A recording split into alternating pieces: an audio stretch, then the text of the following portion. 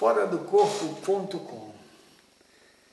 Boa tarde, Moisés. Eu gostaria de saber, do ponto de vista kármico, o porquê do holocausto sofrido pelos índios ao longo da história. É uma questão que me incomoda e entristece, ainda mais porque tenho diversos antepassados indígenas, como minha bisavó, e sou grande admiradora das tradições xamânicas. Se isso ocorreu para o progresso da civilização humana, como muitos dizem, eu te peço que, por favor, me ajude a compreender em que a sociedade atual é superior às nações indígenas de ontem, tirando fora a tecnologia. Pois se houvesse possibilidade, eu abriria a mão da mais alta tecnologia de qualquer quantia de dinheiro para poder viver em meio à sabedoria e simplicidade de vários povos que foram dizimados ou, ela coloca civilizado entre parênteses, na América do Norte, por exemplo. Desde já agradeço. Eu que agradeço a você. Você está falando é uma coisa de lascar, né? Porque é, quando se fala em, em, em progresso e tudo mais, nós estamos falando de tecnologia apenas. Mas eu também não vejo que a, a tecnologia ela seja uma coisa para o bem. A nossa tecnologia não tem sido para o bem. Né? Nós desenvolvemos um armamento que não acaba nunca mais. Né? É só olhar aí no, a TV, ligar a TV, né? que eh, cada canal é invasão de extraterrestres horríveis, aqueles extraterrestres, né? É, o mundo sendo sacrificado, é, bandido para todo quanto é lado, serial killer, pessoas da pior qualidade. É, então, policial tem 300 né, filmes policiais. E é sempre matando o outro, sempre destruindo. Né?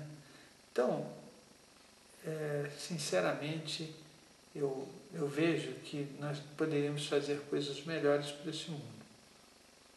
Mas é, é um mundo em que você tem um, uma vontade de poder, né, de dominar o outro, de se sentir seguro, em que você dizima aqueles que estão. Né, é, você está falando de uma coisa que eu lembro que eu era garoto, eu via aqueles filmes né, em que os. É, tinha o um quartel, né, tinha lá o. E, e aí você, dali, você ia Sabe aquela coisa? Os caras. Lá vem a, a, a, cavalaria, né? E a cavalaria destruía os índios. Destruía índios, crianças, idosos. E depois todo mundo no final ria, né? batia palma, é, como acontece até hoje. Assiste os filmes. No final dos filmes é o ufanismo. Anota essa palavra. É o, é o top, né? Ou um dos tops da ignorância humana, é o ufanismo.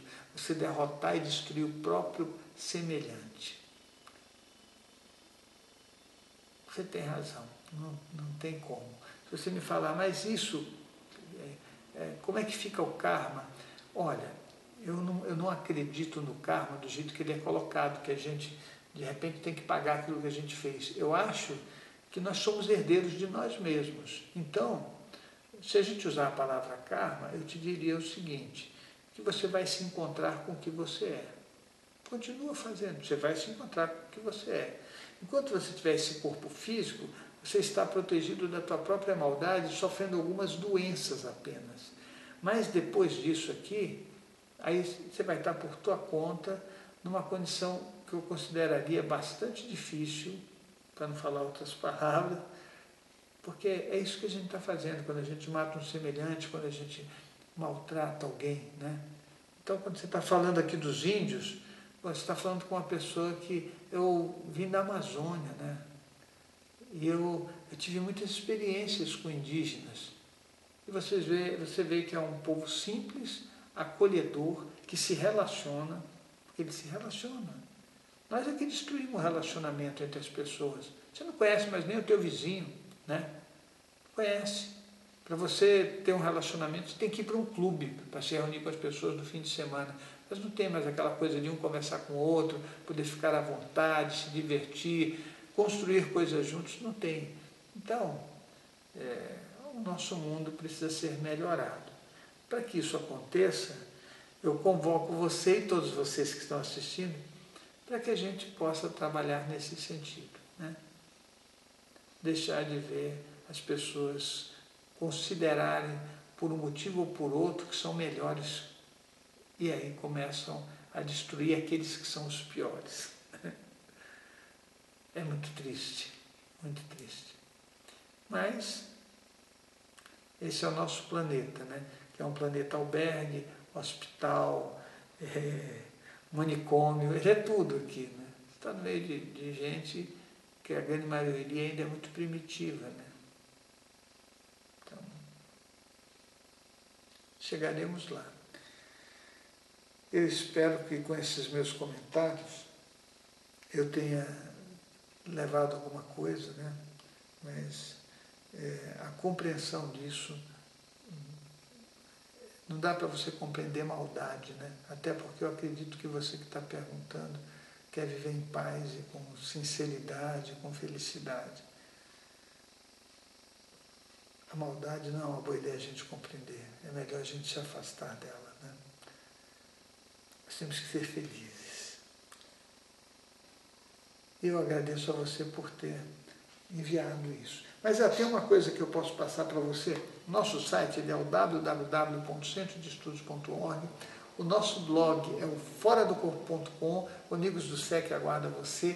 Tem o meu blog, o blog do Moisés. E é, ouça esse CD, Versões Convenientes da Realidade é o CD número 53. Versões convenientes da realidade. É o que nós fazemos o tempo todo e né, é o nosso caminho. Eu agradeço a vocês e a gente se encontra no próximo, na próxima pergunta. Até lá.